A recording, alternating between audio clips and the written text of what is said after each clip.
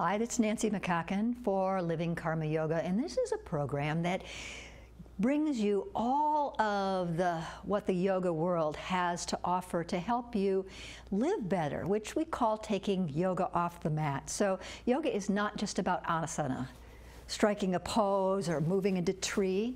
Yoga is about living mindfully and peacefully, and we work with our bodies in order to release tension and open up kind of some stored um, things, some creaks in our body. Uh, but we also use pranayama, which are breathing techniques. We use mantra, which are sound. Um, we use meditation. Uh, we lifestyle in Ayurveda. So there's a whole lot more to yoga than just the posture. However, posture is where we like to begin because we live in a physical body. And if our physical body is uncomfortable, it's very difficult to be peaceful, equanimous, and joyful. So today, uh, I'm going to show you how to use the wall. It's called, the uh, segment is entitled uh, Up Against the Wall. But I'm also going to show you how you can use some simple props that you have around the house um, to help you feel more comfortable. And I'm going to focus on shoulders, calves, and the hips, and probably the hamstrings too. So um, let's begin by working with the upper body, the arms. I'm going to move over to the wall here and um, show you, first of all, something to um, open up the inner arms. Most of the time we're rounded forward, um, but and the inner arm here doesn't get much stretching. So in order to stretch the inner arm, you would start with your hand, the body close to the wall, maybe not next to the wall, and the hand up the wall. Spread your fingers and hug the wall with your hand, draw your shoulder away from your ear. Now you can lift the left arm and kind of lean to the right and stretch from your ankle and your hip all the way up and through the torso, looking up or down, to the left or to the right. And then from here, your left hand comes to your hip, and you're going to swing the right arm behind you. Now, this might be your range of motion. You may not. I can feel a, um, kind of a tension in my uh, trapezius upper traps here. So, but if you bring the arm down behind you, and some people can walk in and get their rib cage next to the wall. That may not be comfortable. You might bend your elbow and press into your forearm and start to turn your body toward the left. Try to keep the shoulder away from the ear. Close your eyes so that you can focus on sensation and breathe very, very deeply. And as we're breathing, we're focusing on the sensation and we're focusing on elongating the tissues. If already, when your arm is back, you're feeling like nothing's happening, you would turn your palm up and start to turn the torso to the left. And then swing the arm up and down and behind you and just back and forth. Externally rotating the upper arm bone and internally rotating. And then we'll go to the other side, balancing everything out. So we start with the left arm up, spread your fingers. You're welcome to do this at home. Not a lot of people have empty walls, but all you need is about a two to three and a half foot space next to the wall. Spread your fingers, draw the shoulder away from your ears. This might be your posture. Maybe you're feeling enough already. Maybe raise the right arm and bend to the left, stretching the right side of the body. And the arm comes down, swing the left arm behind you, and turn the torso toward the right. Perhaps bending the elbow, pressing into the forearm and the hands, or maybe reaching the arm back and turning your palm up.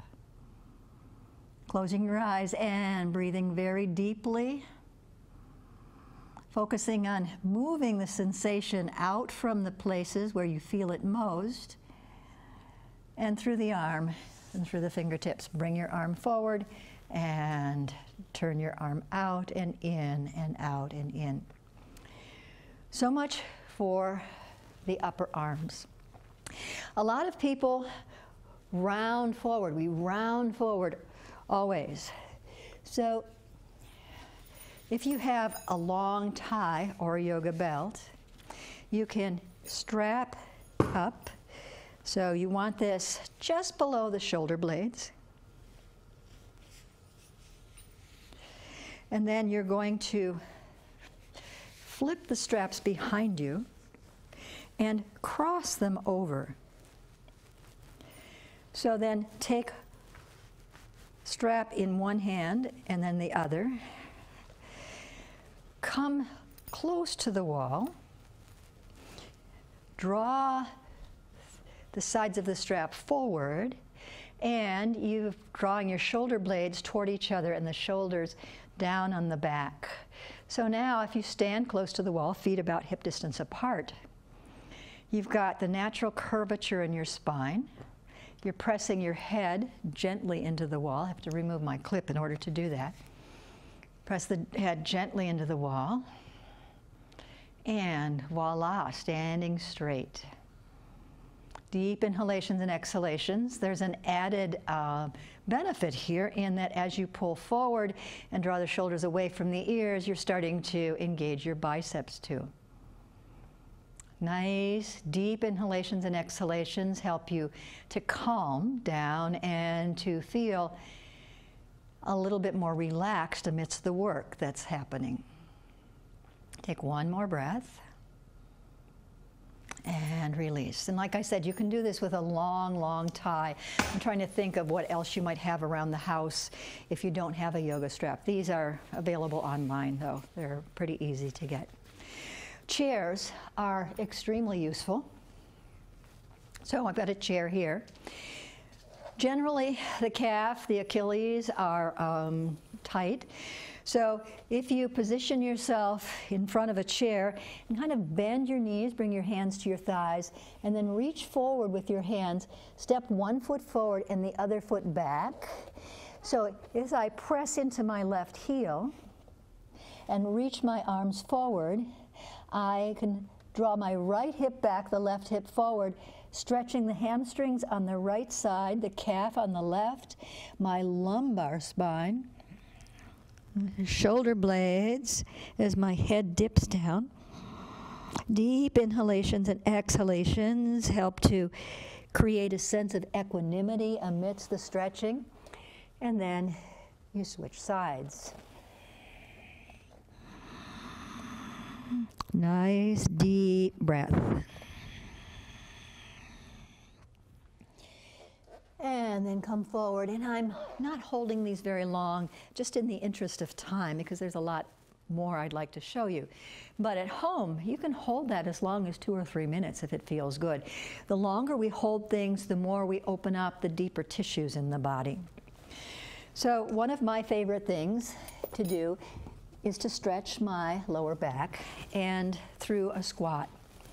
Now, I don't have the kind of body that allows me to come into a deep squat with, with my heels on the floor without elevating my heels. So I usually roll up a blanket and squat down. And then I like to spread my knees and press my upper arms into my thighs, reach forward.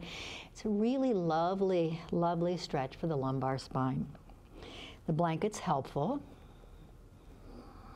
Everybody has a blanket around. The more dense it is, the more support you get. And then to strengthen the quads, you might come up and then down and up and down and up and down and come all the way down and sit. I'm going to move off the blanket now and roll onto my back. So here, I'm going to lie down, and I encourage you to do it at home too, with my knees bent at a 90 degree angle and my ankles in line with my knees. So I'm making kind of a box shape or a square shape with the wall, and we're going to work on the hips.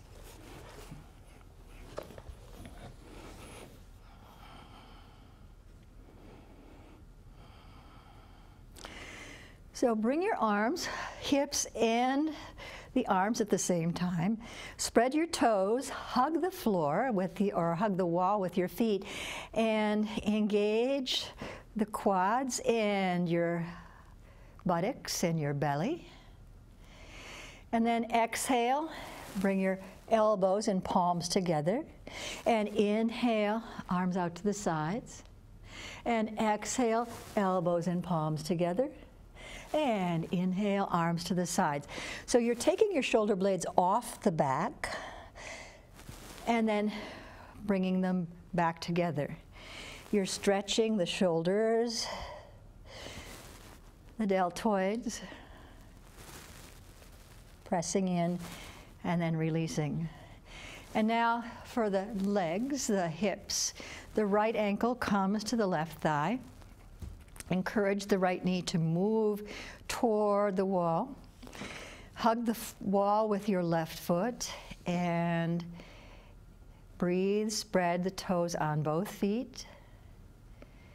Nice deep inhalations and exhalations. Find a sense of peace. We call this the witness as we use our breath to move inside and find a place inside of ourselves which is not really affected by the sensations we're experiencing. We're observing so we can tell whether we're going too far or not.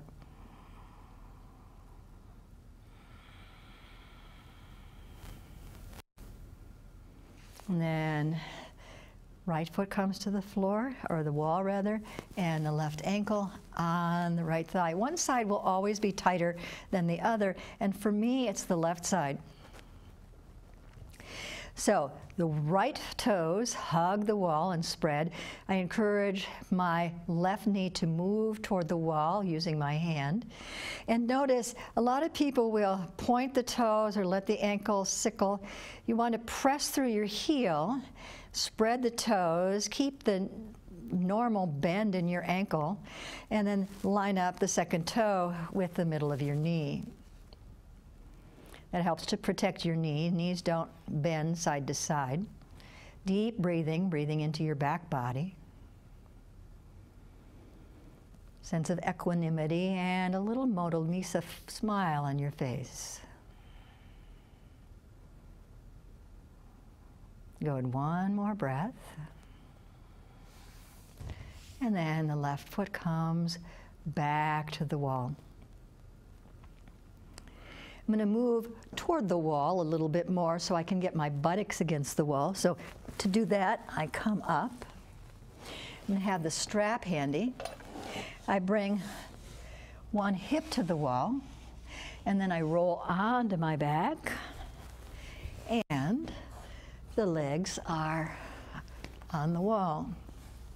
Here, the buttocks is on the wall, the legs are on the wall. This is one of my very favorite resting places. So pressing through the heels stretches the backs of the legs. You can bring your arms out to the sides and work the shoulder girdle and the arms here, palms up, and then exhale, palms down, inhale, palms up, and exhale, palms down. The breath is deep and even such that the awareness to help to create an awareness inside that helps to observe rather than to react to what we're experiencing and feeling. Now, let your hands rest either to the sides or you can bring your hands to your belly and point and flex your feet, stretching the backs of your legs. You can do them together or alternate. Press through the heels, really work the legs, and then open the legs out to the side. Now here we're just working with gravity. So you'll notice that my toes are turning out. That uh, means that my thighs are externally rotating. Some people do it naturally. If you've had any dance training or ballet, they will naturally turn out now because you're conditioned that way. And then we're going to work deep in the hips again. So allow the toes turn out and then turn them in and out and in and out and in. If this is uncomfortable with the legs far apart, you can bring your feet up, hip distance apart, turn the legs out and in and out and in. So we're working deep in the hips now to bring some synovial fluid in here and to move um, some fluid into uh, the attachments. Good. Keep pressing through the heels. And we press through the heels to stretch the backs of the legs. Spread the toes. And here we are not working just with gravity, but we're working with the muscular effort of the inner thighs, the adductors, the quadricep muscles, the hamstrings to stretch. It's helpful to keep the navel drawing in, but to keep a slight arching at the lower back so we're not flattening the back into the, into the floor. One more breath here. And then we bring our hands to the outer legs and use our arms to bring our legs together. I'm going to use a strap. You can use a necktie, bringing my right knee in. I'm going to hog my right knee in and simultaneously press my foot into the wall in front of me. If I just hug the leg in, I'm compressing the hip flexors on the right side. So if I press my foot into the wall very, very gently, I can create a little space in the hip flexors. My left leg is pretty, pretty neutral. And then take the strap, strap my right foot up, and take a hamstring stretch. So your heel might not move very far away from the wall. It doesn't matter. Now notice my knee is pressed in. So that's hyperextending the knee a little bit, not really healthy for the knee. So you want to keep a slight bend in the knee and press your foot into the strap, the strap into the foot. So we're in, I'm engaging the muscles of my leg, my quadricep muscles. It increases the potential for stretching the back of the leg. And then notice my arms. Okay, I'm holding each end of the strap rather than this. And if I bring my arms, bend my arms, and bring them toward the floor at the same time, here I am also engaging muscles of my belly, shoulders away from the ears, shoulder blades toward each other. I can feel this in my biceps. One more breath. And then bring your right foot to the wall, and we'll bring the left leg in and press the left foot into the wall as we hug, use our hands to press into the shin. So again, we're engaging the quads on the left side, creating a little bit of space in the hip flexor area. And breathing nice and deeply. And then we strap the left foot up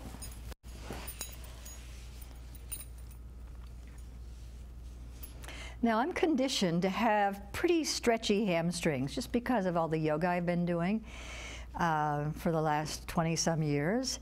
But this might be your posture right here.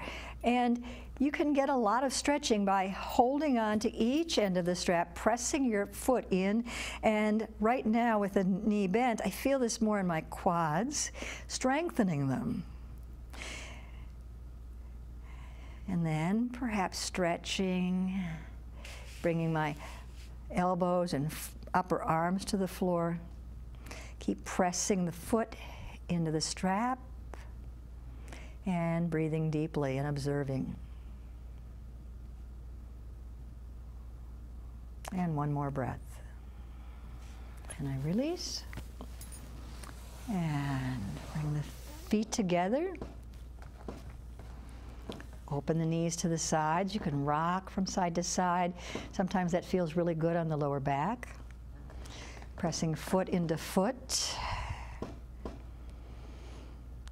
Good. Deep inhalations and deep exhalations.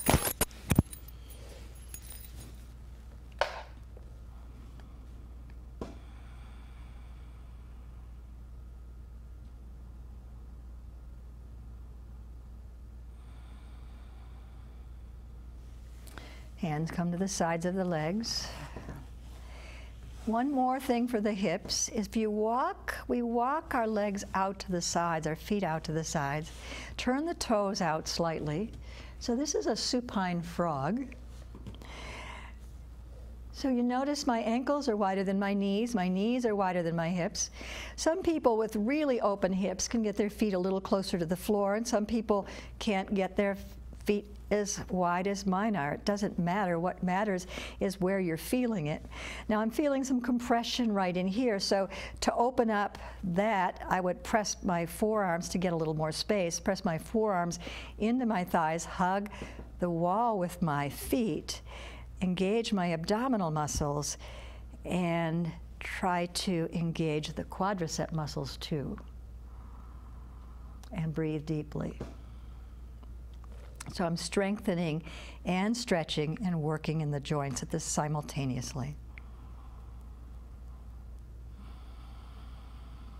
And if I hug the wall with my feet rather than pressing into them as if I'm trying to get my heels to the floor, I'm also feeling this in my quads right and my calves rather.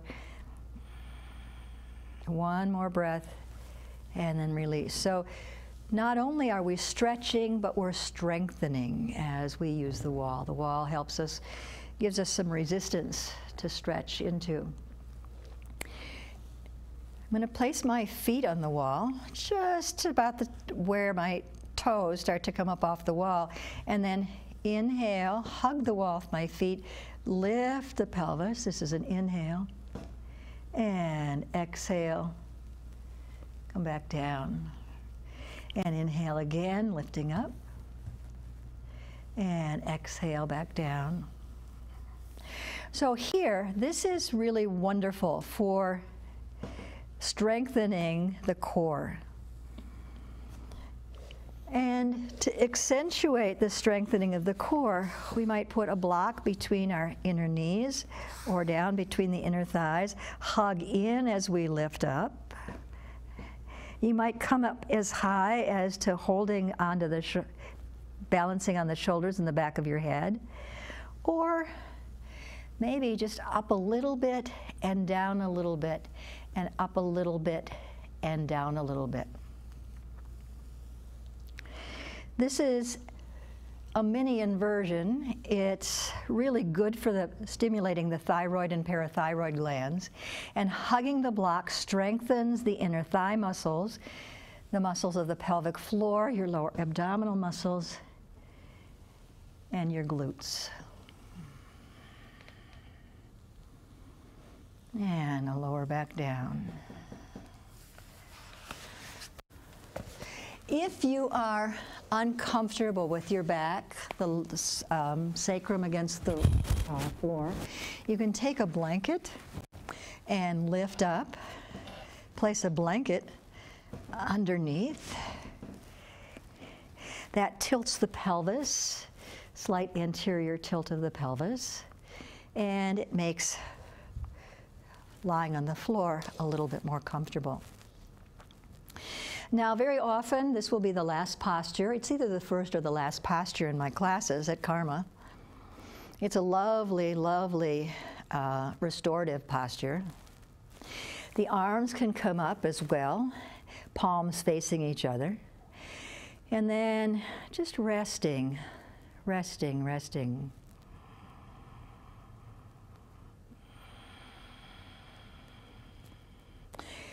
Because the wrists are stacked over the elbows and over the shoulders, I'm not fighting gravity. I could stay here for quite a while, actually. And having the legs elevated, the feet elevated, and the arms elevated assists the lymph and the blood to flow back into the torso and back into the heart. I'm going to move slightly away from the wall.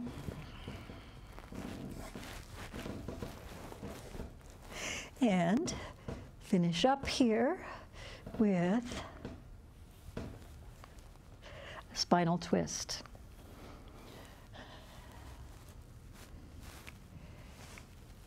And pressing my feet into the wall, drawing my shoulder blades together, making sure that I draw my navel down.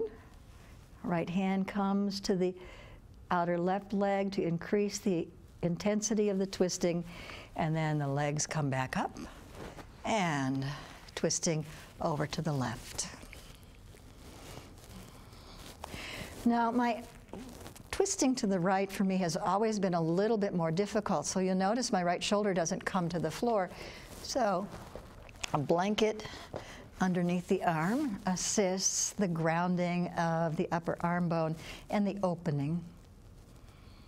One more breath here. And then I'm going to roll to my right side, left side, and sit up.